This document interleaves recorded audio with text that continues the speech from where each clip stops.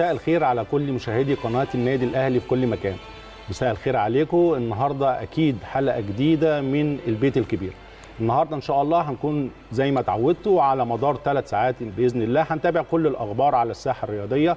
هنتكلم في موضوعات وملفات كتيرة جدا جدا. إن شاء الله تكون حلقة مميزة كالعادة وتنال إعجاب حضراتكم.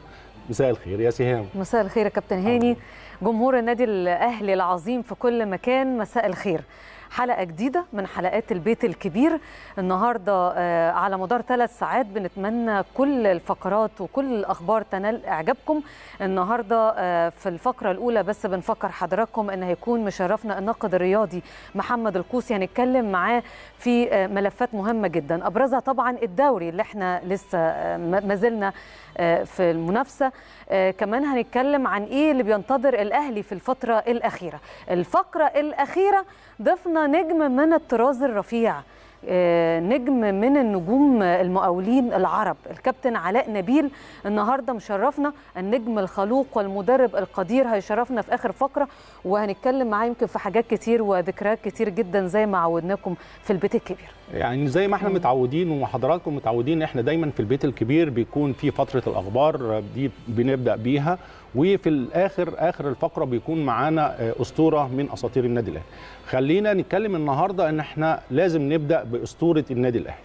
يعني أعتقد نجمنا الكبير اللي هنتكلم عنه أسطورة النادي الأهلي اللي رحل عنا وهو في ملعب استاد التتش نجمنا طبعا الكبير الكابتن محمد عبد الوهاب. محمد عبد الوهاب طبعا بتحل الذكرى ال 14 من 14 سنة زي النهارده أو بالتحديد زي بكرة. خبر صادم في الصبح كلنا صحينا عليه. خبر صادم مش لجماهير النادي الأهلي بس لا لكل عشاق الكرة لكل جماهير الكرة وكل شعب مصر. الكابتن محمد عبد الوهاب طبعا نتيجة سكتة قلبية في تدريبات النادي الأهلي الصباحية 31 أغسطس من 14 سنة رحل عن عالمنا. لعيب النادي الأهلي اللاعب الباك الشمال العظيم ولاعب منتخب مصر. طبعا أصيب بأزمة قلبية حادة أثناء التدريبات الصباحية باستاد النادي الأهلي بالتتش. ربنا يرحمه محمد عبد الوهاب. يعني مش عايز أقول لكم هو بنتكلم دايما على اللاعب الخلوق اللاعب المهاري باك شمال عصري كمان من اللعيبة اللي كانت عاشقة لكيان النادي الأهلي وتيشيرت النادي الأهلي. رغم الإغراءات الكتيرة اللي قابلها في حياته للانتقال خارج أسوار النادي الأهلي لكن دايما متمسك بالنادي الأهلي. روح الانتماء دايما هي اللي بتسود روحه. لاعب الله يرحمه كان لعيب مميز على المستوى الرياضي وعلى المستوى الخلقي كلنا مش بس جماهير النادي الأهلي لا كل شعب مصر تأثر وكانت صدمة كبيرة جدا جدا في صباح 31 أغسطس 2006, 2006. طبعا خبر وفاة محمد عبد الوهاب. الله يرحمه دايما متذكرينك بالخير ودايما متذكرينك إنك واحد من أبناء النادي الأهلي المخلصين ودايما إن شاء الله ذكراك تكون ذكرى طيبة. لحد دلوقتي يمكن في ناس كتيرة جدا لما بتفتكر محمد عبد الوهاب تدعي الأم وربنا يصبر قلبها. والنهاردة فعلا زي ما انت قلت كابتن هاني ذكرى يوم صعب على كل الأهلاوية وعلى كل المصريين على فكرة. لأنه محمد عبد الوهاب كان لاعب خلوق ومحترم وكل المصريين يمكن عاشوا يوم صعب بعد ما سمعوا خبر وفاته. النهارده محمد كان ليه جملة شهيرة جدا بتوضح مدى أو معاني كتير. يمكن جملة لسه ما زالت راسخة في كل أذهان الأهلاوية تحديدا لما قال الأهلي عمره ما خلف معي موعدا ولن أخلف معه وعدا. تلقيت عرضا للاحتراف لكنني أعطيت كلمة للكابتن محمود الخطيب ولا يمكن الرجوع فيها. دي كلمة كابتن هاني أعتقد بتلخص معاني كتير جدا وبتلخص معنى الانتماء وبتلخص معنى يعني إيه إنك تكون مش بس ابن هو مش ابن النادي على فكرة هو مجرد عاش سنتين بس قد إيه تشبع بروح النادي وبأخلاق النادي وبالانتماء. وعلى فكرة محمد يمكن يعني كان من الناس اللي زي ما إحنا قلنا السنتين اللي عاشوا فيهم دول مع النادي الأهلي ده يمكن بيوضح الفارق ما بينه النهارده ما بين نجم عاش في الفترة دي وما بين النهارده لعيبة لعيبة البيزنس خلينا خلينا نتكلم يعني برضه خلينا واتكلمنا في الموضوع ده قبل كده ما يطلق على ابن النادي. أنا في وجهة نظر الشخصية ابن النادي بيطلق على اللاعب اللي يعني مش لازم يكون اتربى في النادي الأهلي لا. بشكل كبير لا هو اللاعب اللي بيقدر الكيان اللاعب اللي بيحب الكيان اللاعب اللي بيقدر تيشيرت النادي الأهلي وبيحترمه ويحترم كيانه ويحترم جماهيره. ده اللي يطلق عليه ابن النادي الأهلي. آه ممكن جدا يكون محمد- عبد الوهاب ما يعني انتقل للنادي الأهلي وقعد فترة صغيرة جدا لكن في اعتقادي الشخصي ومن خلال متابعتي على الفيسبوك وتويتر كل الناس بتعزي وكل الناس بتفتكره بشكل كبير ودوت أنا اللي بسميه فعلا. ابن النادي المحترم يعني. وبالخير. وبالخير. طبعا آه. بالخير طبعا. مم. هنروح دلوقتي نشوف تقرير عن محمد عبد الوهاب أسطورة الأهلاوية. عبد الوهاب يلعب هوبا الله الله الله! الله هدف الأول. صاروخ يا محمد يا عبد الوهاب. حلوة حلوة حلوة من أروع الأهداف اللي شفناها السنة دي. سيظل دائما وابدا رغم سنواته القليلة بين جدران القلعة الحمراء واحدا من اللاعبين المميزين الذين لا يمكن نسيانهم. محمد عبد الوهاب جول جول والذين تزرف جماهير الكرة المصرية على اختلاف ألوانها الدموع كلما تذكرته إنه أسطورة راحلة تجسد العشق الجارف للكيان الأحمر حتى الموت فوق أرضه بين تراب ملعب مختار التتش التاريخي. إنه عملاق الجبهة اليسرى وأسطورة منتخب مصر والنادي الأهلي السابق محمد عبد الوهاب.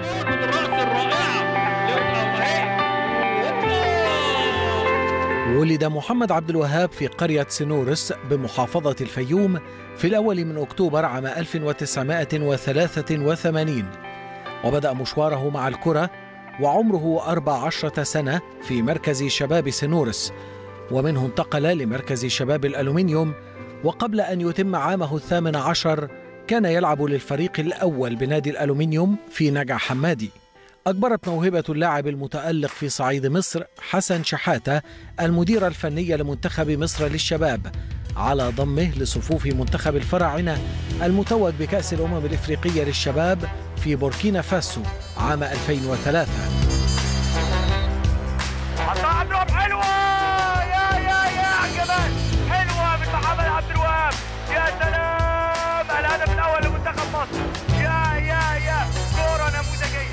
ثم بلغ دور الستة عشر في كأس العالم للشباب بالإمارات في العام ذاته. وفي الإمارات التقطت أعين الكشافين هذه الموهبة ووجد فيه نادي الظفرة تأمينا لمستقبل الجبهة اليسرى في النادي فتعاقد معه.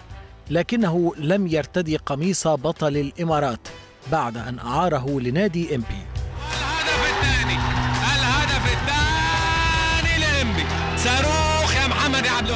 ومن بوابة الفريق البترولي دخل محمد عبد الوهاب منتخب مصر الأول للمرة الأولى مع المدرب السابق الإيطالي ماركو تارديلي وخاض مباراته الدولية الأولى أمام السودان في تصفيات مونديال 2006 وسجل خلالها هدفا هو الوحيد له مع المنتخب الأول.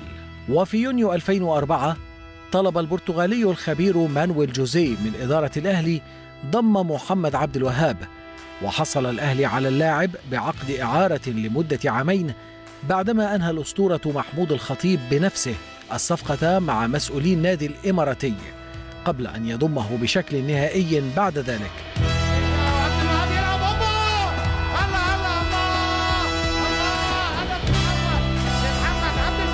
وواجه الظهير الشاب صعوبة لحجز مكان أساسي في تشكيلة الأهلي في وجود العملاق الأنجولي جilberto لكن الفرصة جاءته على طبق من ذهب في نهائي دوري أبطال إفريقيا عام 2005 أمام النجم الساحلي بعد الإصابة القوية التي تعرض لها جilberto ليبدأ عبد الوهاب في السيطرة على الجبهة اليسرى للمارد الأحمر بلا منازع.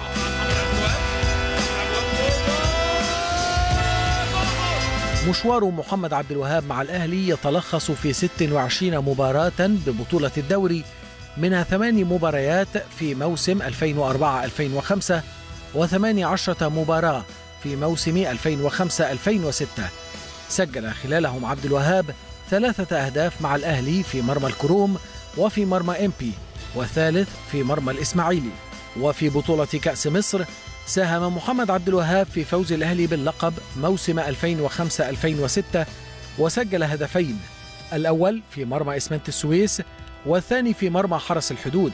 وشارك عبد الوهاب في جميع مباريات البطولة الخمس.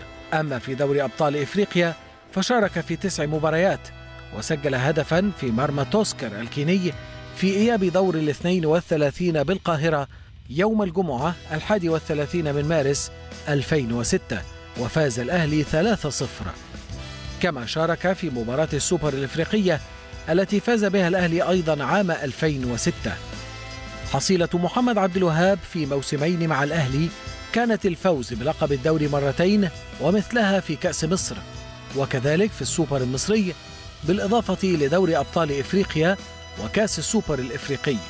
أما مع منتخب مصر ففاز بثلاثة ألقاب هي كأس الأمم الإفريقية للشباب 2003 ثم كأس العالم العسكرية رقم 41 في ألمانيا عام 2005 وأخيرا كأس الأمم الإفريقية 2006 رفقة منتخب الفراعنة الأول.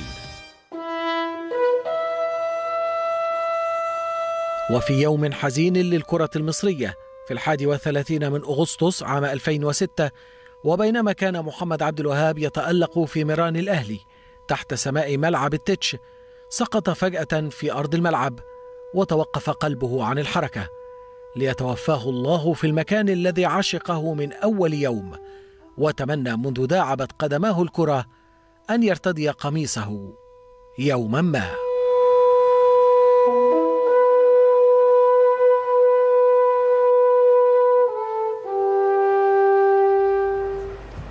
الله يرحمك يا محمد. دايما هتكون في قلوب كل الأهلاوية وفي قلوب كل المصريين. ربنا يرحمك دايما ويا إن شاء الله زي ما بقول هيظل في قلوبنا لأن كان لعيب مميز وعلى المستوى الأخلاقي وعلى المستوى الفني. طيب لسه طبعا مع اخبارنا أخبار النادي الأهلي إن شاء الله الفريق هيعود بكرة للتدريبات استعدادا لمباراة وادي دجلة المقرر ليها إن شاء الله يوم الجمعة اللي جاي ده في الأسبوع ال 24 من عمر الدوري. عارفين إن الفريق طبعا حصل على راحة لمدة 48 ساعة هيعود بكرة إن شاء الله الثلاث لاستعدادا لمباراة وادي دجلة. مباراه وادي دجلة مباراة مهمة جدا جدا. وادي دجلة بيقدم مستوى ولا أروع الفترات الأخيرة فريق عنده لعيبة مميزة جدا بيحقق نتائج إيجابية وطبعا أكيد وأنا متأكد إن كل اللاعبين والجهاز الفني والإداري مركزين تركيز كبير جدا جدا جدا على حسم الدوري مبكرا. حسم الدوري بدري إن شاء الله نستعد بيه. لجزئين الجزء الأولاني زي ما اتكلمنا دايما إن هيكون عندك عندك فرصة إنك تجرب اللعيبة الشباب اللعيبة اللي طالعة من قطاع الناشئين بشكل أهدى شوية يكون فرص كبيرة. وكمان هيكون الاستعداد بشكل كبير جدا على طبعا دوري الأبطال في أفريقيا وتحديدا طبعا مباراة الوداد. طيب إحنا يعني زي ما أنت قلت عايزين نحسم ملف الدوري ده بدري بدري علشان نفضل أفريقيا. إن شاء الله. فأنت النهارده داخل على الجولة الكام؟ ال 24 تقريبا؟ آه يعني هو يعني, يعني قدامك تقريبا بتاع ست ماتشات عشان نقول بقى اتحسم الدوري علشان نقول الله. مبروك بإذن الله للأهلاوية. نقولوا آمين. النهارده كمان في خبر مهم وفرحة وتفوق جديد لأبناء الأهلي على كل منافسيهم الحقيقة. فريق كرة اليد. فريق كرة اليد في الأهلي مواليد 2000 توج عن جدارة واستحقاق بلقب كأس مصر بعد ما فاز على الزمالك في المباراة دي اللي جمعت ما بينهم النهاردة بنتيجة 30 ل 25 فبنقول مباراه يعني بنقول لهم ألف ألف آه مبروك رجالة, رجالة طبعا آه. وده الناس اللي طالعة كمان تكمل المشوار مم. دول الشباب صغير ودايما لما بتبدأ ببطولة دايما بيكون عندك طموحات للأكبر طبعا الفريق الأحمر سيطر على المباراة اللي اتقامت أقيمت امبارح في صالة نادي هليوبلس في الشروق منذ بداية اللقاء يعني حسم الشوط الأولاني متقدم ب... كانت المباراة كانت النهاردة آسف حسم نتيجة الشوط الأولاني بفارق ثلاث نقاط 13 16 قبل طبعا ما يواصل هيمنته وسيطرته في الشوط الثاني لحسم اللقاء بفارق خمس أهداف. حسم فريق هليوبلس المركز الثالث والميدالية البرونزية بعد فوزه على الأولمبي من نتيجة 24 25 في مباراة ماراثونية ما بين الفريق. بنقول تاني ألف مبروك للفريق وإن شاء الله الانتصارات قادمة وإن شاء الله نشوف حتى على مستوى المنتخب كرة اليد أعتقد عندنا كأس عالم السنة الجاية في مصر صحيح. بإذن الله. مم. إن شاء الله بإذن الله دايما النادي الأهلي عنده نجوم كمان بس مش في كرة القدم لكن جميع في ال... جميع الأنشطة آه جميع الأنشطة الرياضية. كره اليد. وخاصة كرة اليد دي يعني حقيقة. ده, ده حقيقة. فلازم نهنيهم وده فوز مستحق. فوز الأهلي اللي معودنا دايما يكون رقم واحد زي ما قلنا في جميع الأنشطة. هنروح لفاصل سريع جدا وبعد الفاصل البيت الكبير.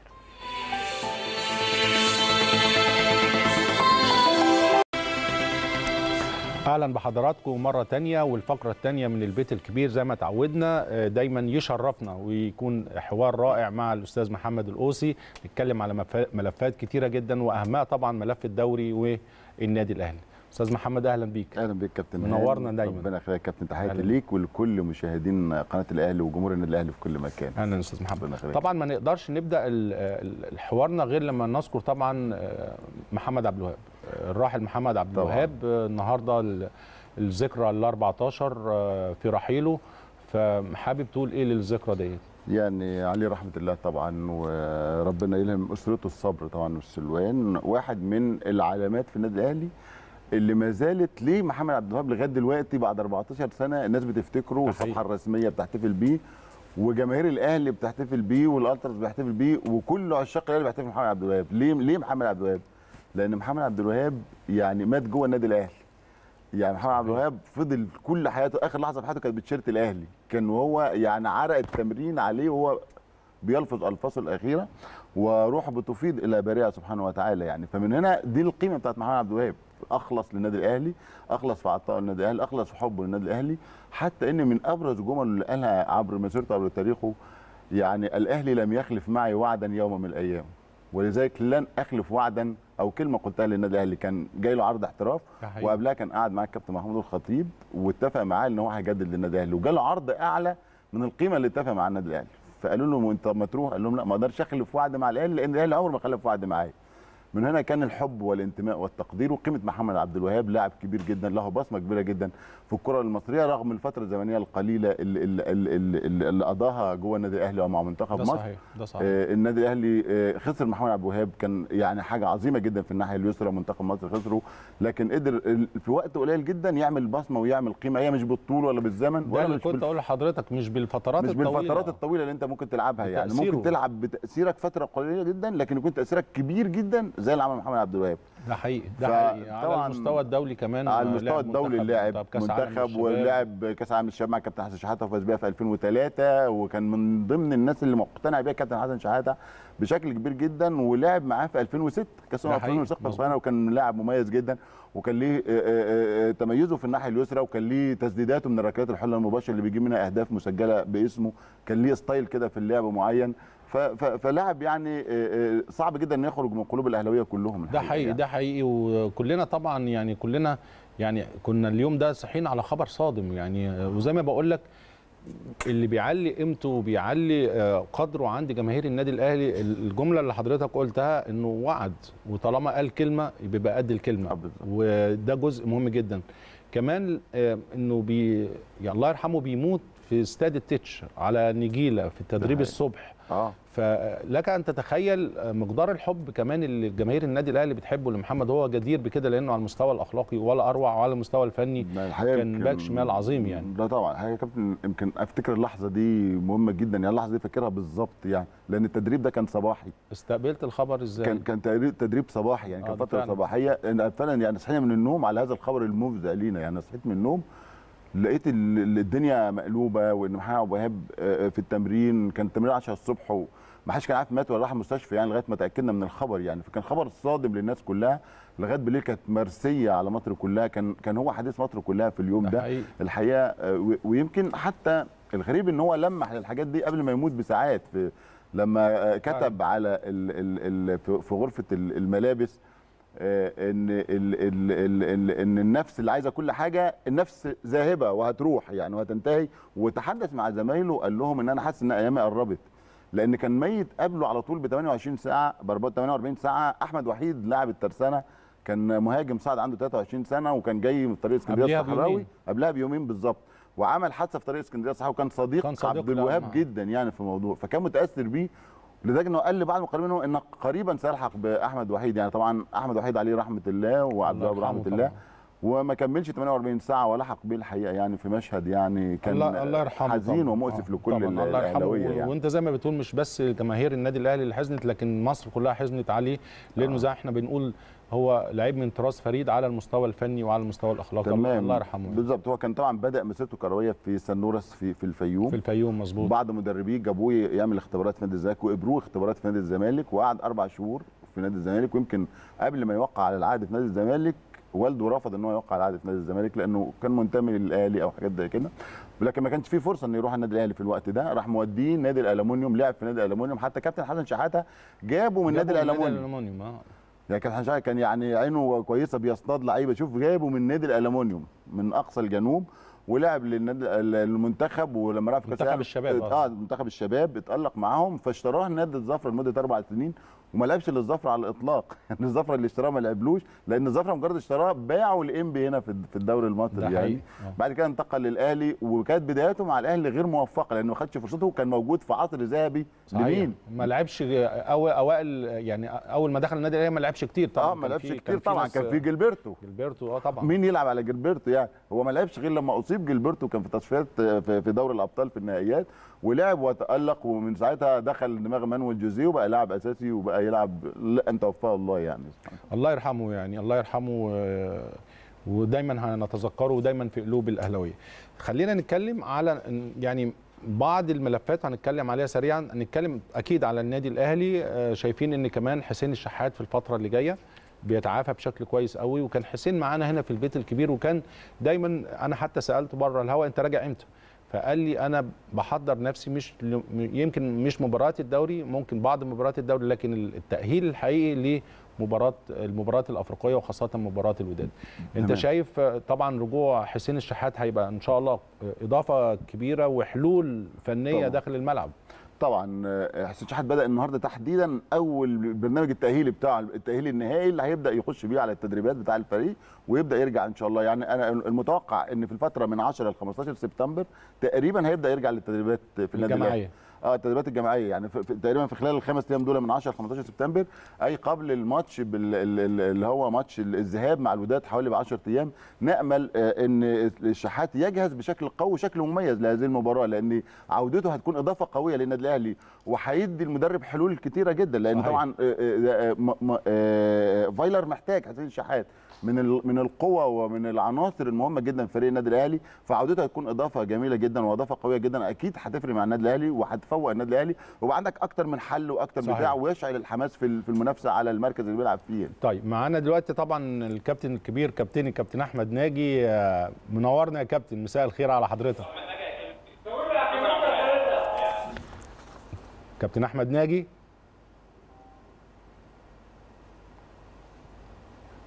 كابتن أحمد ناجي موجود معانا؟ طيب هنتواصل هنتواصل معاه مرة تانية كابتن أحمد ناجي. لكن خلينا نتكلم على ال- الأمور الفنية وخاصة آه، نتكلم على المباراتين اللي بعد مباراة نادي الزمالك. الشكل أعتقد اتغير بشكل بشكل كبير. يمكن آه، مش رجع ل خلينا نكون نتكلم بكل أمانة مش أداء النادي الأهلي اللي قبل كورونا لكن في تحسن في الأداء. في رجوع بعض المصابين شاركوا بشكل كويس. أحمد الشيخ رجع بشكل كويس. في كمان عودة مروان بشكل كويس جدا جدا. آه، كمان بادجي بيثبت إنه لعيب وبدأ الجماهير بالرغم يمكن الفترة الأولى بعض الجماهير قالت لا مش هو ده مهاجم النادي الأهلي. لا رجع وأثبت إنه فعلا جدير يكون موجود في النادي الأهلي وإنه عنده كمان الأفضل الفترة اللي جاية. تمام. خليني بس أقول لك قبل ما اجاوب على السؤال ده آه، في يعني إضافات تانية تحصل لفرقة النادي الأهلي. كهربا. آه طبعا. كهربا قدامه ماتشين يعني كا- باين له ماتشين كده باين له ماتش وادي دجلة يوم الجمعة وماتش حرس الحدود وهينتهي ال 10 ماتشات الإيقاف بتاعه.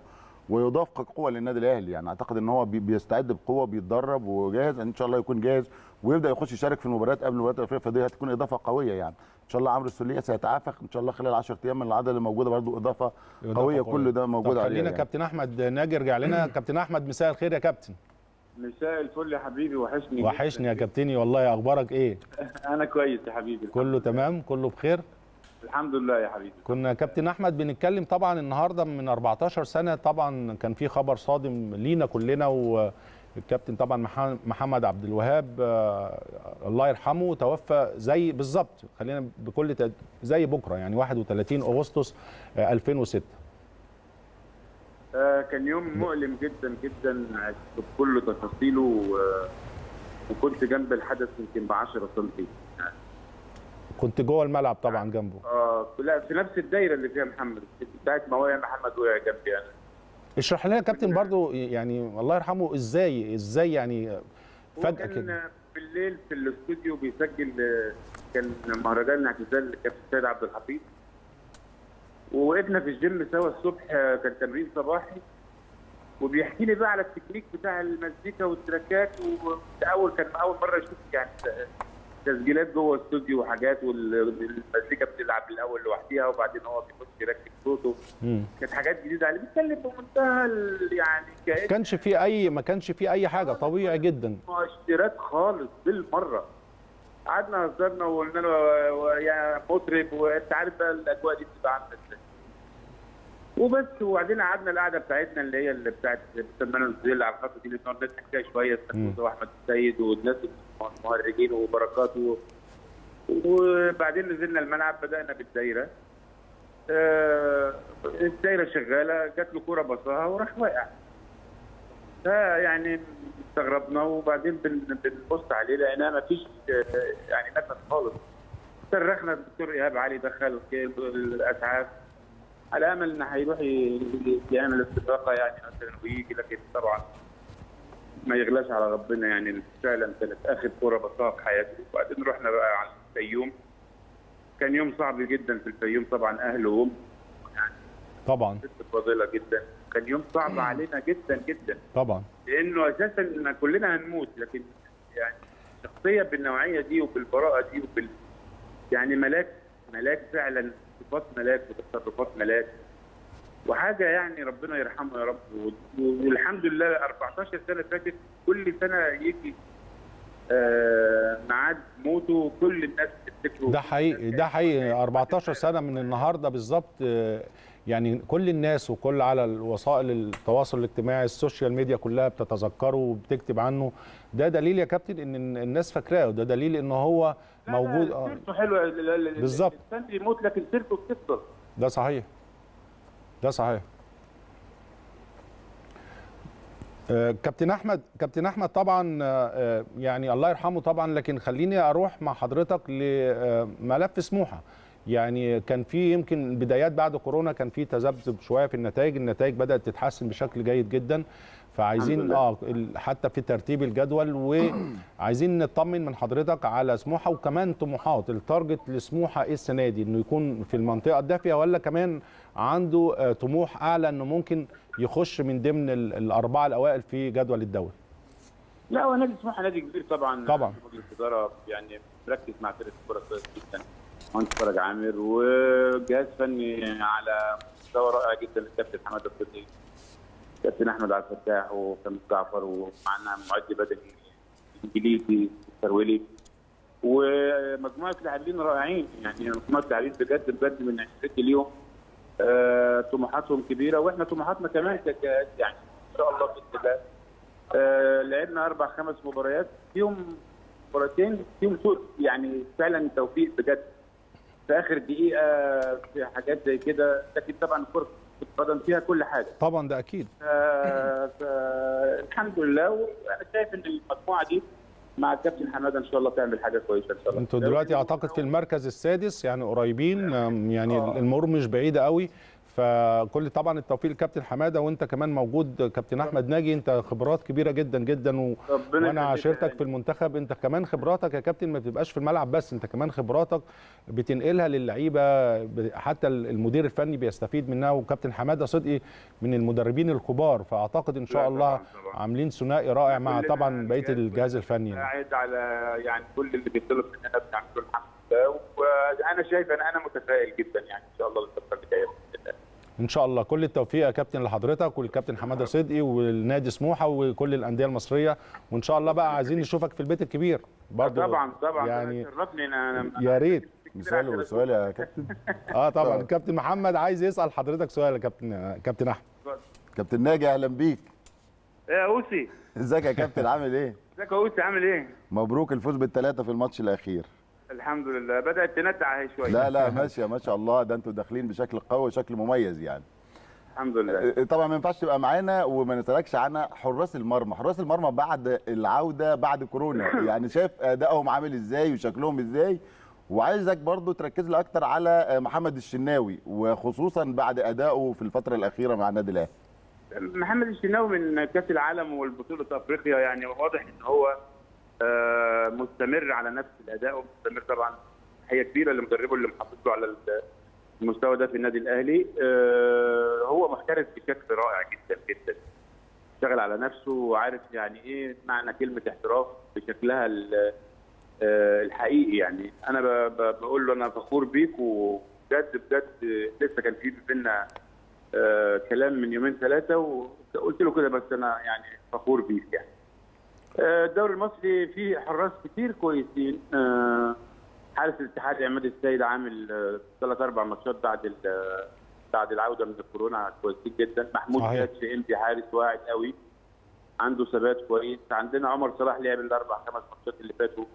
آه، يعني آه، يعني عمل مباريات كويسة جدا ويعني آه، في غياب آه، الكابتن هاني سليمان لأنه طبعا وقف ثلاث مباريات وبعد كده جاله آه، كورونا ربنا يشفيه إن شاء الله ويرجع لنا قريب بإذن الله. آه، في أبو جبل طبعا مأدي مباريات كويسة جدا. أبو السعود مع نادي المقاولين آه، حراس كتير يعني بصراحة مركز حراسه المرمى في مصر آه، عامر عامر وأحمد يحيى في الإنتاج الحربي لهم مستوى برضو. آه، حراس كتير مش عايز انسى حد. مركز حراسه المرمى في مصر مبشر وبخير وما فيهوش أي قلق. وأنت كنت دايما يا كابتن أحمد حتى في وجودك في المنتخب كنت بتطمن حتى الأجهزة الفنية؟ يعني اجيري كان بيسألك كنت دايما تقول له لأ حراسه لا لا المرمى. كنت دايما فاكر عيني آه بالظبط.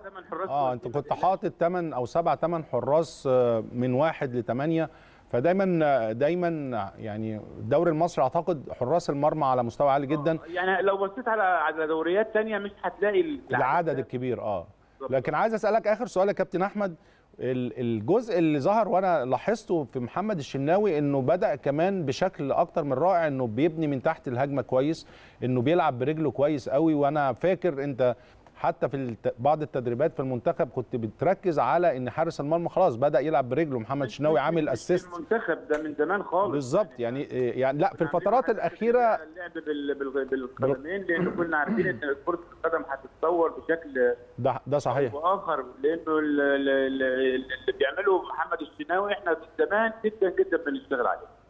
لكن هو طبعا دلوقتي في فترات من المباراة بيلاقي فرصة هو إن هو يستخدم المهارة دي.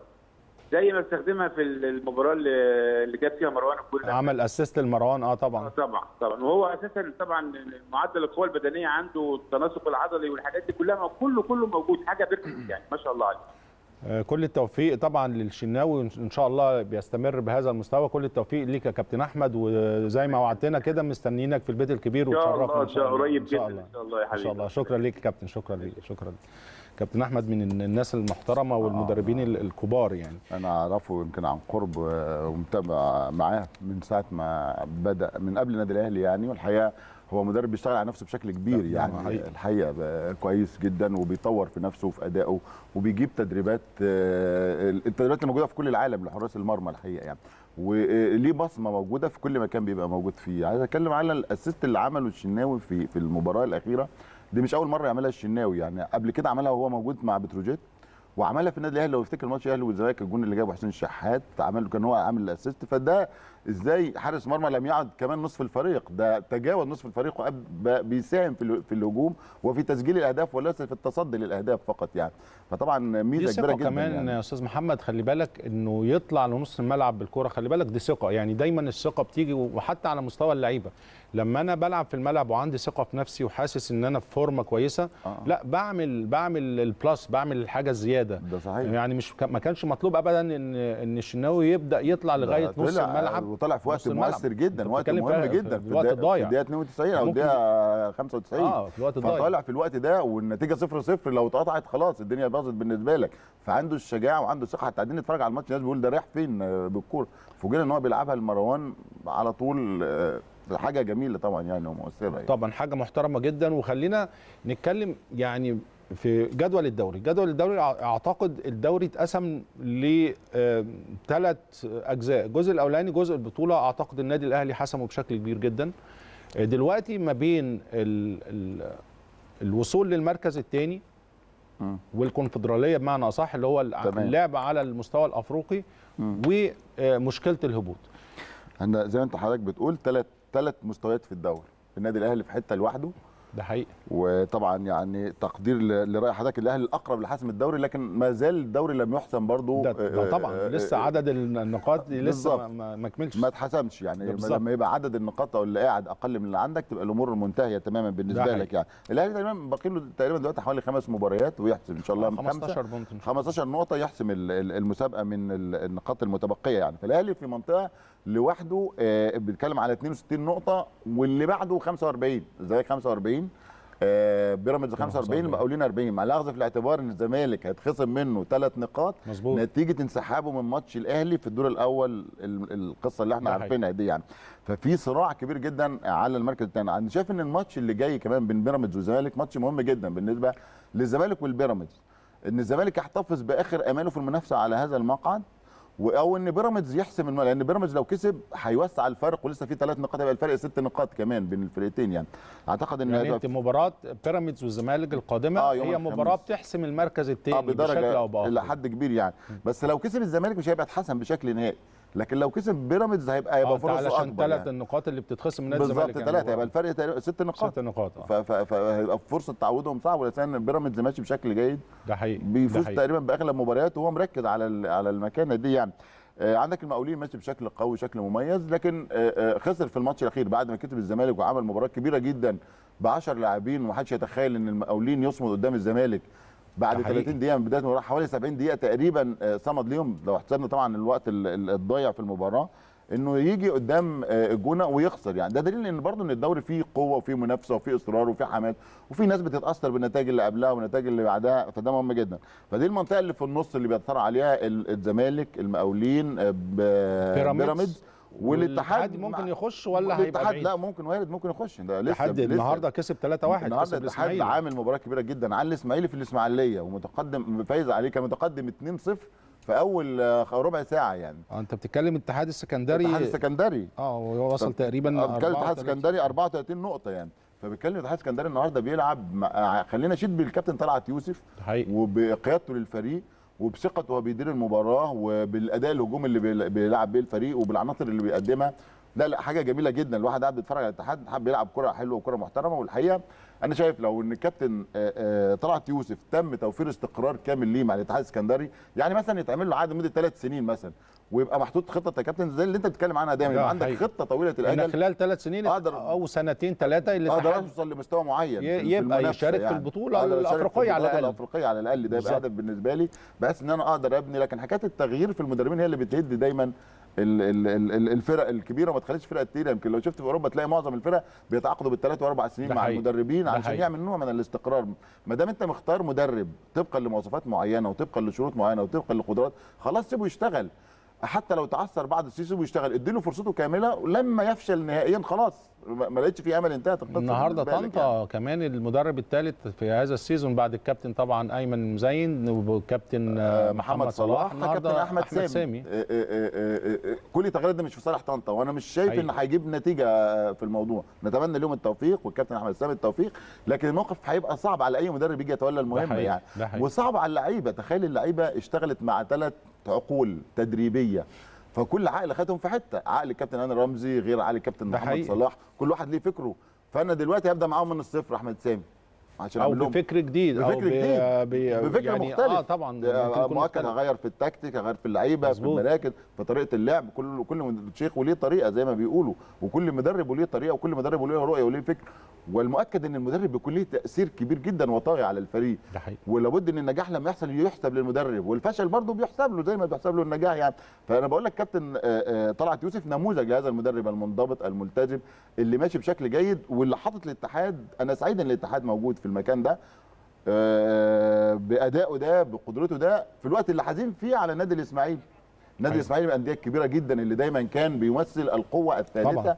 في الكرة المصرية بعد النادي الأهلي وبعد. الأهلي والزمالك بيمثل. لكن دلوقتي دخل طبعا بيراميدز ودخل المقاولين ودخل الاتحاد. الاقي الاسماعيلي الاسماعيلي في خطر. اللي هو هنتكلم الاسماعيلي هنتكلم إحنا دلوقتي لك آه. إحنا, دلوقتي هنخش بقى على المرحلة اللي هي بداية مش من إيه من, من المركز السابع. أنت بتتكلم من المركز السابع لغاية آخر الدوري عندك. أنا بتكلم مركز السابع 11 فريق. 11 فريق فعلا. 11 فريق يعني في, في منتهى الخطورة. بيواجهوا منهم انبي والاسماعيلي ومنهم فرق كبيرة جدا يعني موجودة آه، منهم النادي المصري وان كان ليه ماتشين لكن المصري عنده 21 طب نقطة. خلينا نتكلم خاصة على المصري والإسماعيلي لأن الموقف صعب جدا خاصة النهاردة كمان بعد الهزيمة من الاتحاد موقف صعب جدا. كمان النادي المصري بيمر بمواقف صعبة جدا. نتكلم خاصة يعني على بقية أندية الدوري لكن خاصة الإسماعيلي الإسماعيلي والمصري. والمصري. آه نطلع مستمرين في البيت الكبير مع حضراتكم ووصلنا لفقرة النجم. والحقيقة النهاردة في البيت الكبير نجم وبرنس. هو لاعب نادي المقاولين العرب وأيضا واحد من نجوم ال- المنتخب منتخب مصر السابق مدير فني قدير آه، نجم من نجوم الثمانينات أو جيل الثمانينات الرائع الحقيقة آه، للمقاولين العرب. وفاز مع ذئاب الجبل بالدوري الممتاز وكأس الكؤوس الأفريقية. أما عن مشواره التدريبي فحدث ولا حرج. هو أحد أبناء مدرسة الجنرال محمود الجوهري كابتن علاء نبيل مشرفنا ومنور البيت الكبير. أهلا وسهلا بيك يا ضحكت ليه لما قلت prince؟ بس هو بيحب يروح اللي عند البرنس ياكل عند البرنس فأنت فكرتيه بقى بالبرنس. كابتن علاء منورنا يا كابتن. لا المقدمة جميلة لا، شكرا. ده ده قليل. عليك. الله يخليك. وبعدين أول مرة بكاجوال وبتاع آه، يعني لا ده في حركات بقى كبيرة مش عايزنا جدا. كلام الحلقة شوف كده ده. لا منورنا يا كابتن بجد. كابتن- كابتن, متعود طبعا يطلع يعني بال formal شيك. على طول. آه، طول عمرك شيك يا كابتن يعني تلبس. فانيلا. لا لا قلت غير منورنا يا كابتن. الله طبعا. يخليك يا كابتن هاني. الله يعني أنا. سعيد جدا طبعا. أسعد وحشتني. أيام من زمان من يعني. زمان أوي يعني ربنا. يخليك كابتن. لا منورنا يا كابتن. الله يخليك. ومشرفنا في في البيت الكبير في النادي الأهلي. هنتكلم بقى براحتنا. كتير وحاجات كتيرة قوي الله. نطلع بس تقرير عن الكابتن علاء نبيل ونرجع مع حضرتك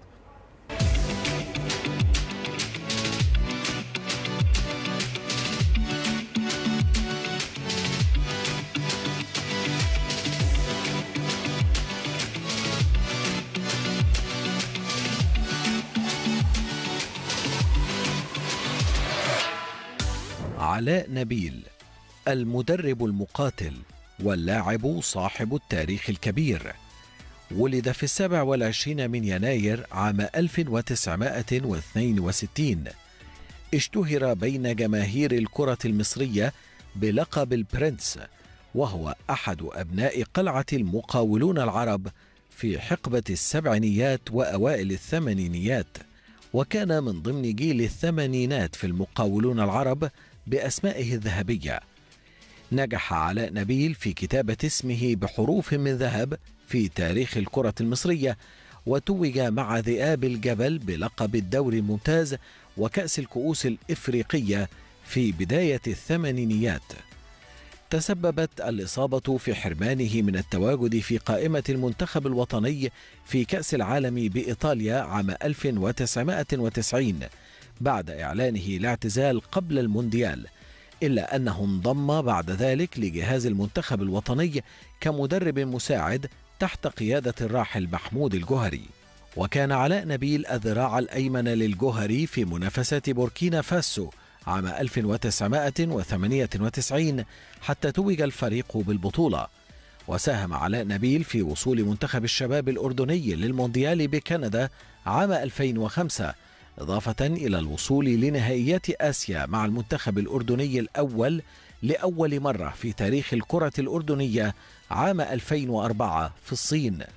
كما قام نبيل ببناء منتخب قوي للأردن الشقيق وذلك بتصعيد ستة لاعبين من منتخبه الأولمبي للأول منذ أن تولى المسؤولية الفنية للمنتخب الأولمبي عام 2009 سجل علاء نبيل خلال مسيرته لاعبا برفقة المقاولون العرب أكثر من خمسين هدفا في كل البطولات ويعتبر من هدافيه الأوائل عبر كل العصور خاصة وأنه كون ثنائيا مع زميله علي شحاتة من بين هذا الجيل الفذ والذي نجح في إيجاد مكان له في تشكيلة المنتخب المصري. ومع المنتخب الوطني يمتلك علاء نبيل تاريخا أيضا لا ينسى فقد شارك في أكثر من أربعين مباراة دولية وحقق في مسيرته الدولية الكثير من النجاحات. كان أولها عندما استدعاه محمد عبد صالح الوحش مدربه الذي اكتشفه في المقاولون العرب إلى المنتخب في عام 1983 وصنع منه لاعبا أساسيا في قيادة الهجوم بجانب محمود الخطيب أسطورة الأهلي.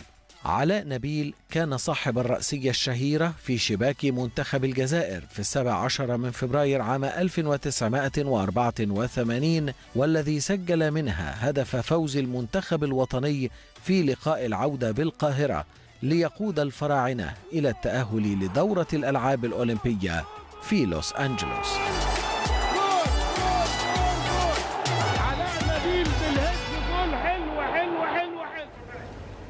كابتن علاء يعني مشوار مصر ما شاء الله طويل جدا والحقيقة مسيرة حافلة لكن بس عايزه أبدأ باللقب بتاعك يعني هو إيه حكاية البرنس دي جت منين أصلا؟ والله هو الناس مين اللي طلعه يعني على يعني حضرتك؟ ناس كتيرة يعني وأنا في مجال الكورة لما بروح مكان آه. وأشتغل فيه آه يعني الحمد لله ب... بأسلوبي أو بتصرفاتي مم. الناس وبشياكتي. لا لا مصممة برضه على هو بيقول أنا أول مرة أقعد بال... ب... يعني يا جماعة أنا أول مرة أجي كاجوال وبتاع فعمري ما طلعت كده عمري ما طلعت. بس أنت في بيتك يا كابتن الله يعني يكرمك، هو بيتك آه. كبير آه. يا رب يخليك. كابتن علاء طبعا يعني زي ما بنقول يعني التقرير كمان ما وفقش حقك. يعني الناس مجتهدة جدا عملوا تقرير رائع لكن في حاجات كتيرة جدا يعني نحب نعرفها منك والمشوار طويل. خلينا نبدأ بالحاجات اللي الناس دايما بتحبها أو إحنا يعني بنقولها. البدايات كانت إزاي؟ كابتن علاء نبيل أصلا من منين؟ من منطقة إيه؟ يعني خلينا نتكلم في حتة السوشيال الاجتماعيه شوية وبعدين نخش طبعا على التاريخ الطويل الرياضي يعني. أنا طبعا آه، من سكان مصر الجديدة. ويعني كنت زي أي شاب في مصر آه، كان مباريات الشوارع هي اللي كانت آه، الشارع ده كان طلعت أجيال. طبعا دلوقتي ما بتعرفش تمشي بتمشي بجنبك ده دلوقتي. حقيقي ده حقيقي. ف آه، آه، بدايتي كانت في نادي الشمس. و كانت بداية ظريفة جدا. كان والدي الله يرحمه كان في القوات المسلحه وكانوا عاملين عضويات مميزة للقوات المسلحة. فسألنا قلنا له يا ريت طبعا. آه. من الشارع شوية. فالمهم آه، رحت ال- ال- تمرين النادي طلع قبل شم النسيم بيومين. ورحت بقى النادي بتاع شم النسيم بقى دخلت نادي الشمس بقى فطبعا كانت الملاعب متقسمة برضو ملاعب فأنا واقف بتفرج بقى كم سنة. كابتن سعيد؟ كنت 14 سنة 14 سنة 14 سنة فالمهم آه، واحد تقريبا اتصاب فواحد بيقول لي تلعب يا كابتن. انت كنت واقف عارف بتتفرج الكابتن بتاع زمان ده؟ كابتن. فقلت له آه ألعب. له آه. آه آه. فالمهم نزلت جبت جون والتاني والتالت. اتاري واحد بيتفرج عليا بره. كان مدربي ربنا يديله الصحة كابتن يحيى كلاشة. راح مناديني قال لي أنت بتلعب في حتة؟ قلت له لأ. قال لي تلعب في نادي؟ قلت له هلعب في النادي. رجعت بقى البيت فرحان قوي كان ومن هنا كانت البداية كان نادي إيه بقى؟ نادي نادي الشمس. الشمس نادي آه. الشمس نادي نفس النادي. الشمس، آه. طب كابتن يعني حضرتك لا لعبت للأهلي ولا لعبت للزمالك. وبرضه والد حضرتك هو السبب في إنك تلعب في المقاولين أو اختار لك المقاولين بعيدا عن أي من القطبين وكان ليه وجهة نظر خاصة يعني تمام. إن أنت هتتوظف بعد ما تطلع من النادي أو بعد ما تعتزل اللعب لا مش حتة؟ توظيف كانت حتة تانية أمال إيه هي؟ آه، المشوار كان آه. مثلا أروح مصر لغاية النادي الأهلي وأروح مشوار لغاية نادي يا الزمالك سلام وساعتها كان آه. نادي الزمالك والنادي الأهلي كان آه. نجوم كان راس حربة نادي الأهلي اللي كان عبد الخطيب ومصطفى عبده طبعا هنيجي للأسماء الكبيرة آه، دي بس آه. بس هو ده كان السبب البعد المشوار آه لا هو نقالي النادي اللي هو هيبقى قريب مني آه وهلعب مم. هلعب آه كان مهم إنه عايزك تلعب عايز يعني مش نلعب. مهم تروح نادي كبير لا وتقعد مش يعني. توظيف ولا بتاع آه. لا هلعب OK. يعني لو رحت النادي الأهلي هل- هتعب لغاية. لما العب آه يبقى في فلان وفلان طب بامانه ما ندمتش إنك ما لعبتش للأهلي؟ هو أنا هو أنا بعد ما بطلت آه وبعد ما دخلت بقى في مجال التدريب والإعلام وبتاع مم. لا اللي بيلعبش الأهلي والزمالك بي- بيدفع الثمن كتير مم. بتفرق آه بتفرق طبعا يمكن بتفرق كتير بتفرق في كاريرك حتى لو كنت مدرب حتى لو كنت إعلامي حتى وأنت لو بتحسها آه يعني طبعا آه. يعني هو طبعا عشان مؤسستين يعني النادي الأهلي والنادي الزمالك أنا كنت سعيد جدا بالله أنا كنت. سعيد جدا علي. في النادي آه. بس بعد لكن ما كمان المقاولين بعد ما بطلت لا حاربت كتير أو تعبت كتير لغاية لما آه، عملت اسم و... و... و... و... لكن برضو لحضرتك لو. اللي المجهود اللي عملته ده آه. لو كنت بلعب في أحدى قطبين كنت بقيت حاجة تانية. كنت وفرت على نفسك مشوار طويل كبير. برافو عليك. ومجهود كبير. لكن برضو كابتن آه، عايز أقول إن كمان النادي المقاولين يمكن آه، الأندية الكبيره طبعا في الوقت طبعاً. دوت وكان جيل جيل أنا بقول لك أنا- أنا اتمتعت وأنا بلعب في نادي المقاولين. اتمتعت فعلا. اتمتعت. ورحت منتخب مصر وأنا في نادي المقاولين. صحيح. هي دي بقى النقطة آه. إنه مش من السهل على أي لاعب مش في الأهلي ولا الزمالك إنه يوصل لمنتخب مصر. وحضرتك حققت ده. ده اتعمل إزاي برضه؟ على هل عشان برضه مجهود. كنت موهوب بس ولا آه كان في أقول لحضرتك آخر؟ حاجة. كنت مح... يعني كان جيل الجيل ده محظوظ آه. بمدير فني. الله يرحمه اسمه الكابتن عبد الصالح الوحشي. لو أقول لحضرتك التشكيل اللي موجود لمنتخب مصر فيه كام واحد من بره الأهلي والزمالك؟ كان علي شحاتة كان محمد عمر اتحاد. حماده صدقي كان, كان في المنيا المنيا. المنيا بالظبط. عماد سليمان. إسماعيلي. شوقي غريب. المحلة. علاء نبيل. مقاولين. شوف كام لعيب ده يعني 60 النهارده 70 انت آه، هاتي. مدير فني مسك منتخب مصر لاعب هذا الكمية من بره الأهلي والزمالك في منتخب مصر اساسيين آه. كان محمود حسن الإسماعيلي كمان محمود حسن اسماعيلي موجود. تمام لا مجموعة طبعا مميزة جدا وخلينا نتكلم بكل أمانة يا كابتن برضو خلينا يعني الأندية الشعبية زمان والأندية الكبيرة ديت مع احترامي للناس الموجودة دلوقتي لا ده كان في نجوم على مستوى عالي يعني بتتكلم آه، آه، اتحاد السكندريه فيه 3 4 الإسماعيلي فيه 5 6 نادي المنصورة، المنصوره فيه المنيا فيه المنيا فخلينا نتكلم بكل أمانة دلوقتي أعتقد ال- الأمور ما بقتش زي زمان وحضرتك برضو عشت الفترتين طبعاً، وعارف وأنت طبعاً. مدرب كمان كبير وعارف طبعاً. يعني شفت كمان دلوقتي الموضوع ما بقاش الفرق. بالسهولة ديت إن في في كل نادي في خمس ست أسماء تقيلة يعني فخلينا نعدي الحتة ديت ونقول كابتن علاء آه، آه، المشوار المشوار الكورة وخاصة انت بتقول وجملة أنا بحبها جدا استمتعت وأنا بلعب في في نادي نادي المقاولين. آه. استمتاعك من لعبت خلال دوري وخدت دوري. آه من خلال بطولات. آه لعبنا أفريقيا وخدنا أفريقيا وسافرنا. ويمكن الفرقة الوحيدة اللي كانت في مصر بتلعب في أفريقيا كنا بنسافر عن طريق أوروبا. سافرنا أوروبا وكنا بنطلع من أوروبا على أفريقيا ونرجع لأوروبا تاني آه. لا اتمتعنا اتمتعنا وكان ساعتها عثمان بيه الله يرحمه كان هو رئيس النادي و... مين كان المدير الفني كابتن سعد؟ آه، كان مايكل إيفرت مايكل سكنا إيفرت. فترة هي دي الفترة اللي خدنا فيها دوري و... و... و... وأفريقيا و... فالفتره دي آه، ده ده الفترة الذهبية لنادي المقاولين العرب. حقيقة يعني دي هذه الفترة بنجومها بلاعبتها ب... بأسمائها اللي ترج اللي كان الفترة دي زي ما حضرتك قلت كل الأسماء كانت في الأندية كبيرة جدا كان الأسماء الفرقة جينا في وقت والله كان الفرقة اللي بتتعادل مع المقاولين العرب في ملعبها يقول لك إحنا تعادلنا مع المقاولين العرب بيبقى مكسب. بالنسبة آه. لها يعني آه ده حقيقة فإحنا خدنا دوري من الأهلي والزمالك وخدنا أفريقيا وخدنا كأس و... يعني آه وحضرتك برضو كنت من الهدافين الأوائل نقدر نقول عبر كل العصور. يعني أكتر من 50 هدف سمعنا التقرير. بحكم بحكم عدتهم بحكم؟ بحكم مركزي. آه. تمام كان آه. برضه عندنا الله يرحمه كان ناصر محمد علي كان طبعاً. عندنا حمدي نوح مم. كان عندنا عبودة كان عندنا نبيل إبراهيم شيشيني آه، الشيشيني في نص الملعب ما كانش هداف بس كان بسم الله ما شاء الله تريحه أقول. بيوصلك بقى يعني بي- بيوصلك انت يعني مش لازم هو يجيب جول بس آه بيوصلك وبعدين كنا مميزين جدا جدا جدا في اختيار المحترفين اللي ساعدوا نادي المقاولين العرب أيوه لا، ساعة لما اتفتح باب الاحتراف. آه نادي المقاولين العرب كان مميز جاب ثلاثة منهم اثنين آه أعتقد إن هم من أحسن اللعيبه اللي جم في مصر. كان بيل أنطوان. بيل أنطوان طبعا حارس حارس مرمى. مرمى عظيم. وكان عبد الرزاق عبد في نص الرزاق. الملعب. وكان إسماعيل ديفان. بس كان الاثنين دول كانوا عاليين قوي. ده على المستوى الأفريقي. أنت بتتكلم مش على مستوى المحترفين في مصر. ده كان آه، على لا، لا، مستوى كان- المنتخبات آه يعني و- كنا مميزين في اختيار اللعيبة. يعني آه، فكان آه، يعني ساعتها بصراحة كان أقول لحضرتك حاجة مهاجمين نادي المقاولين العرب علاء نبيل وعبودة وحمدي نوح وناصر محمد علي ونبيل إبراهيم. لعيب بقى أقول لحضرتك دلوقتي بيلعبوا واحد. لعيب بقى ثلاثة وقعدي بقى بقى الباقي بره. بالظبط. آه، مشكلة. آه يعني مشكلة. مشكلة. غير الأسماء الثقيله اللي في الفرق الثانية آه طبعا. آه طبعا، طبعا آه يعني يعني- يعني بقول لحضرتك في آه. فرقتنا كان بس خ- الحتة القدامانيه دي كان فيها مين؟ حربة بس آه. ورا نص الملعب كان الشيشيني وكان محمد رضوان وكان عبد الرزاق وكان محمد عمر و- يعني وحتى على مستوى الدفاع كان في لعيبة كان جمال سالم ونبيل عمار وعمار و- و- وزمزم و- وعلي شحاتة. و... لا لا لا لا, لا فرقة فرقه لا جيل ورغم كان- عن كده خلي بالك جبت جون فيكم انت برضه آه لما سندت عليا كده. آه. فاكر أنا أنا كنت لابس ساعتها سبعة وكنت لسه صغير. كان عندي كان يعني صعدت للنادي الأهلي كان عندي 18 سنة وكنا أعتقد كمان الماتش كان في المقاولين. أتذكر الماتش ما أنا كل اللي فاكره واللقطة اللي حتى بطلعها دايما إن كان في كورنر بيتلعب وأنا آه، كابتن علاء كان قدامي. فأنا قلت له بى خلاص أنا سندت عليك كابتن علاء ما شاء الله طويل. حضرتك كمان كنت رقم سبعة. أنا كنت رقم آه، سبعه بالظبط. كنت رقم فسندت. عليه آه. سندت عليه وحطيتها. كان جون حلو يعني بصراحة.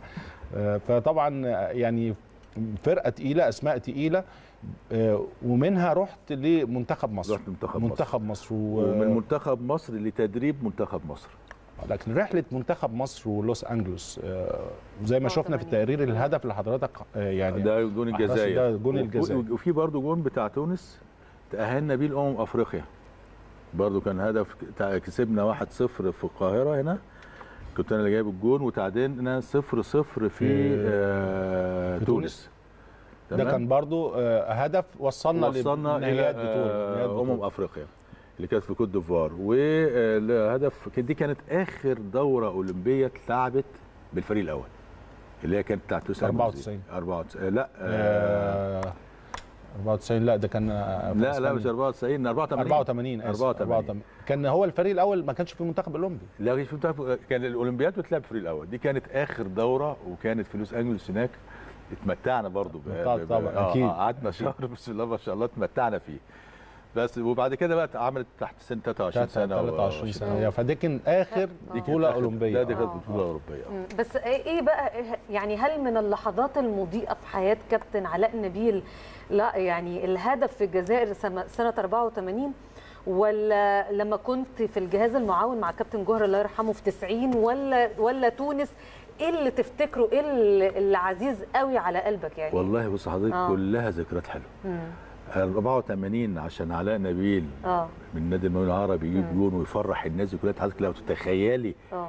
العواميد في استاد القاهرة ما كانتش باينة من الناس قاعدة طبعاً. عليها. آه طب تمام؟ عشان علاء نبيل يفرح الناس دي كلها بهدف والملعب فيه محمود الخطيب وفي آه، ثار أبو زيد وفي مختار وفي وفي وفي وفي وعلاء نبيل أصغر اللعيبة سنا في هذا هذه المباراة. أجيب الجون كان ليها فرحة كبيرة جدا. علاء نبيل لما يبقى في منتخب مصر ونروح بوركينا فاسو 98 أيوة. ونجيب البطولة من بره ونيجي من أجمل البطولات أنا بعتبر 98 و2008 من أجمل بطولات اللي البطولات. الأفريقية الأفريقية. تمام ويمكن كابتن هاني كان معانا في 98 يتعمل عليها كتاب إحنا آه، كنا ده رايحين. حقيقي- ده حقيقي. آه، رايحين. ده- ده من قبل ما؟ نروح. آه ليه ليه قلت لا اتعمل آه. يتعمل عليها كتاب ليه؟ لأن. إحنا من قبل ما نروح. آه. والسفر نفسه وبداية المعسكر وأثناء المعسكر وأثناء المباريات. وبعد المعسكر. وبعد المعسكر. لا حاجات كان كتيرة في جدا. حكايات كتير. آه طبعا. آه. هو الكابتن جوهر الله يرحمه وفي المؤتمر قال لفظ الناس فهمته غلط. حتى الأستاذ حازم سكوت قال يا جماعة الكابتن جوهر ما قالش كده. بس ما حدش عايز يسمع كله مستني. آه. تمام هو بيقول لو أنا كابتن جوهر كان ليه شوية مصطلحات ظريفة كده. قال لك أنا لو دخلت مطار بوركينا فاسو هيقولوا لي أنت مين؟ هروح طلع لهم الجواز هيقولوا لي أنت ما دخلتش كأس عالم مش عارف إيه وما عملتش إيه وما عملتش إيه فأنت. في المركز أقف في المركز اركن على 13 تمام؟ ف آه، قال لك إحنا كابتن كابتن جوهر بيقول إحنا هنطلع مركز 13 يا جماعة ما قلناش كده. مشيت. وبعدين هو بسم الله ما شاء كان ذكي. فاحنا قاعدين على الفطار بدأت ال- قال لك خليها تمشي. أنا عايزك تمشي بقى. هم بقى عايزين كده خليها تمشي. آه يعني هو كابتن جوهري ما كانش يقصدها بالمعنى اللي خدته الناس. خالص خالص. آه. وبعدين من الضغط بقى اللي حصل فأنا آه كنا فصلنا كده جاكيتات عند عم مصر الله يرحمه كده في مدينة نصر ترز كده صغير كده. عملنا جاكيتات عشان نسافر بيها.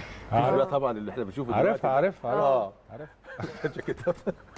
عارفها الكم لغاية هنا دي؟ أنا أيوه ده الكم لغاية هنا يبقى جت مقاس لحد فين؟ لحد هنا. ليه؟ يبقى جت كده. مقاس هي كده تبقى حلوة يا عم آه، يعني. هتلبس آه، كده ولا. مش؟ هي كده. آه. فعملت لك بدلتين عند عم ناصر عم عم عم عم مصري آه. فكان الكابتن سمير ساي وكابتن جوهري كنت أنا وكابتن فتحي مبروك وكابتن سمير عدلي وكابتن فكري صالح. فبقول له يا كابتن إحنا خلاص مسافرين بكرة. بنبرة كده بقى يعني إيه؟ فراح هو كان بيدخن جامد هو راح طفي كده السيجارة. راح باصص لي ورا. قال لي يا علوه انت صدقت؟ أنا رايح أجيب البطولة. يا حبيبي. آه. أنا عارف جهازي كويس. وعارف لعبت كويس. أنا رايح أجيب البطولة وراجع. آه. فاكر لما كنا في تايلاند؟ كان بطولة معانا- تايلاند. وكان معانا احد الصحفيين وعمل لكم استفتاء. هنطلع كام وكلكم قلتوا هنوصل نهائي؟ ده. عمل عمل اللعيبة؟ آه, آه. من استفتاء. ودخل على الغرف وسألهم وعمل استفتاء وجه بالليل على العشاء. إيه ده؟ إيه ده؟ قال له في إيه؟ قال له أنا سألت اللعيبة كلها بيقول لك كله هيوصل نهائي. دي, دي قوته جدا الحتة دي قوته جدا. آه طبعا. فروحنا جبنا البطولة بالرغم من المتاعب الكبيرة الكبيرة وهذه البطولة. آه. أشيد بكل اللاعبين وخاصة كابتن هاني رمزي. المحترف ليه؟ اللي كان آه. موجود. آه. بص حضرتك. لا قول. هو عارف قول بقى ون- ونستغل تواجده آه، معانا. وبعدين؟ لا لا، لا قول يا كابتن قول لا، قول إحنا في البيت يا كابتن، الكبير عادي يعني. عادي إحنا آه، الكابتن رمزي. آه. اللعيب الوحيد انت عارف بقى حضرتك وصلنا هناك إيه المكان ده؟ إيه ده؟ إحنا بقى رايحين بقى على أساس بقى إيه؟ بقى. إيه، آه. هنروح بقى ننزل في في أوتيلات وننزل الجيم الصبح. مش عارف الساعة كام والساونا الساعة كام والتدليك الساعة كام. رحنا لقينا يعني لو رجعنا بالسلامة تبقى الحمد لله قوي يعني. والله. تمام؟ آه والله الحاجة كانت صعبة ظروف جدا. آه. آه. وكله بقى واللعيبة وكابتن جوهر شد و كم. دخلنا أول يوم نت- نتغدى. فعبارة الغدا عبارة عن إيه؟ في غرفة كده داخل شاليه كده يمكن حاجة صعبة جدا يعني. والترابيزات معمولة على حرف يو. والنازل والأكل نزل طبعا اللحمة شكلها صعب سودة اللحمه سودة صعبة. آه. والأكل فعلا مش بتاع رياضيين يعني. مش بتاع هم. في امكانياتهم طيبين بالظبط. جدا جدا. هو الوحيد. اللي ما كلش الو- هاني رمزي لا بالعكس. اللي الوحيد اللي, كان- قاعد ما بيتكلمش وماسك سوس وكل ويروح دخل الكرسي مكانه وقايم هو كابتن هاني رمزي اللي كان محترف ساعتها في ألمانيا. والله آه. ده حصل لأن خلي بالك ودايما بتكلم مع الناس في النقطة دي نقطه مهمة جدا إن اللعيبة بتيجي يعني ما كانش فيه ناس محترفة كتير فهم واخدين هاني جاي بقى هيتقرنن علينا وهيتغ... أيوة. فأنا لازم أبقى مش هقول لك قدوة لكن أنا لازم أديهم لا السكه ليه قدوة برضه لا لازم؟ أديهم السكة آه، اولا يعني- إن لأن لو أنا رايح مع نادية في حتة والنادي رحنا حتة مكان صعب فالم... لازم تتعايش أنا متعود تتأقلم. اللي قدامي آه. فاكر يا كابتن علاء اللي قدامي باكله يعني أي حد ده, قدامي حقيقة دي حقيقة. فمش عارف مرة من مين اللعيبة قال له يا كابتن أنا عايز لهم هو الراجل المحترف في ألمانيا باكل وأنتوا مش عارف إيه وتوت كابتن كان ليه شوية مصطلحات لذيذة كده. فكان هاني عمل موقف ساعدنا كلنا فعلا اللي إحنا اللعيبة دي بقى لا خلاص ده هاني زي ما زي ما هاني بيقول إيه إن هو آه، محترف وهو اللي بياكل الأكل ده. بيتعامل بقى. آه بيتعامل لازم. مع الموقف. هذا راجل لازم. محترف آه، احترف آه. آكل هنا أنام هنا وبتاع الحاجات آه. دي كلها. فكان موقف جميل جدا. البطولة دي كان فيها مواقف كتير جدا جدا جدا لا تتخيليها. زي إيه يا كابتن علاء؟ تقول أقول آه. لحضرتك حاجة مثلا مثال صغير مثلا. في مباراة آه مثلا آه بوركينا فاسو. معلش يا كابتن. علاء قبل ما نخش في معانا خبر مهم جدا جدا وصل لنا دلوقتي إنه أوقف الاتحاد الدولي لكرة القدم الفيفا. الغرامة المالية الموقعة على لاعب النادي الأهلي محمود عبد المنعم كهربا المقدرة ب 2 مليون دولار. تقدم طبعا إحنا عارفين محمود كهربا كان طعن على القرار الصادر من الاتحاد الدولي بتغريم اللاعب ماليا مؤكدا أن عقده مع الزمالك انتهى قبل رحيله إلى الدوري البرتغالي. كهربا كان طعن على في المستند اللي قدمه اتحاد الكره وأرسله الزمالك في شكواه. وزي ما إحنا الخبر قدامنا بيقول إن المستند دوت طلع يوم 25 أغسطس. وبالتالي القرار لسه يمكن الخبر قدامنا دلوقتي إن القرار إن إلغاء العقوبة المالية آه، على كهرباء مقدارها 2 مليون دولار. طبعا خبر خبر في مصلحة اللاعب وخبر مهم جدا جدا حتى على مستوى المعنوي للاعب وخاصة إن كهرباء خلاص على أبواب الاشتراك إن شاء الله في مباريات النادي الأهلي وإن شاء الله نستفيد منه ويكون فعلا خبر سعيد على المستوى المعنوي ويترجم إن شاء الله في الملعب يكون على المستوى الفني إن شاء نقول له الله مبروك. مبروك, يا مبروك. كهرباء مم. اتفضل يا كابتن. اتفضل يا كابتن. طبعاً. اتفضل يا كابتن. فطالعين بقى الباص بتاع بعد ما فرحانين خلاص نوصل النهائي كابتن جوهري كان عنده ميزة جامدة قوي عارف معدن اللعيب المصري وثقافة اللعيب المصري. هو عارف أول لما بنفرط في حاجات كتير بتجيب نتيجة عكسية. كإقامة في فرحة. فطلع الباص لقى الفرقة رقص وغنى. مبسوطين. آه. آه. والراديو بقى شغال الراديو بقى شغال. راح غمز لي رحت قافل الراديو.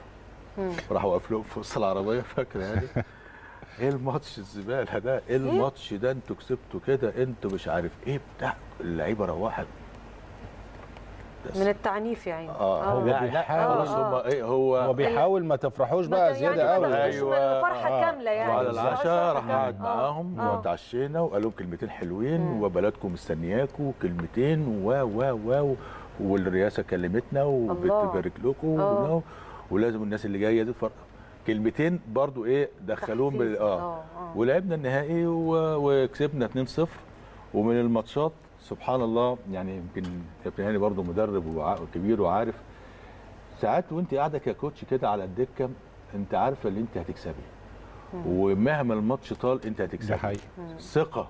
بيجي لك احساس كده مهما حصل لأ النهارده هنكسب. هنكسب. بيبان. جنوب أفريقيا أنا قاعد هنكسب هنكسب. مم. تمام؟ تمام. آه وسبحان الله 10 دقايق وقدام ش- الشمس كانت جامدة جدا. وراح الملعب كله كاس ظل هاني 1-0 أحمد حسن؟ 2-0 بعديها بعديها بقى- مصطفى. ولو كنا قعدنا تاني يوم ما كانوش هيجيبوا هيجيبوا جول ده حقيقي. وجبنا البطولة ورجعنا. سبحان الله. ده آه، حقيقي. آه. يعني من الماتشات اللي فعلا طيب. بتحسي إن انت بتحسميها في وقت لو الماتش طول شوية وانت صفر صفر هتخش في مشكلة. آه ده فجون. في الثاني وعملنا ماتش حلو حتى على المستوى اللي عم- اللي عملنا ماتش كويس. وجنوب أفريقيا كان فريق فريق كبير فريق يعني كان فريق تقيل رجعنا بقى الأوتيل كان في طيارة خاصة.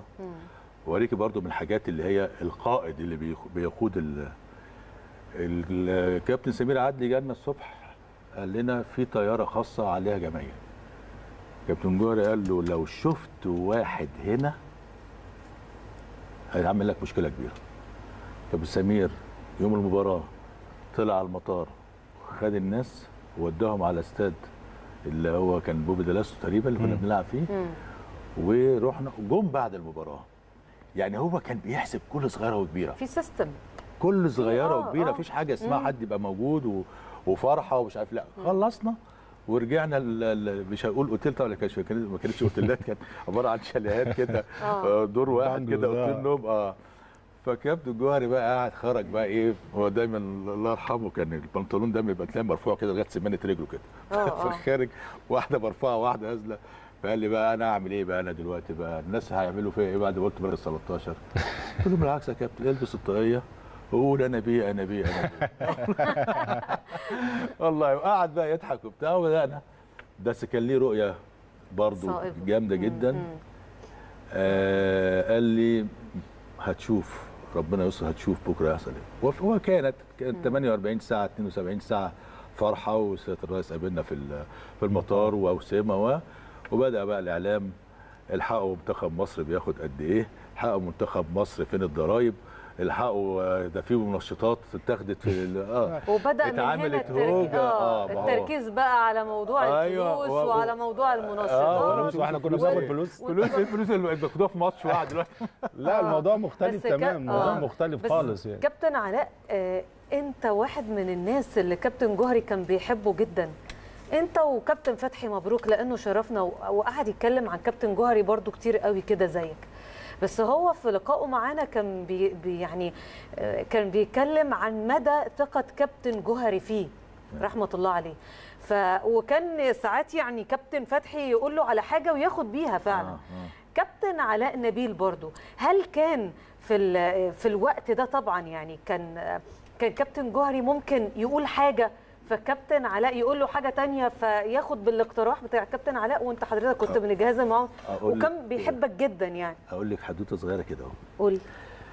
كنا بنلعب لبنان منتخب االاردن بنلعب لبنان في لبنان. آه.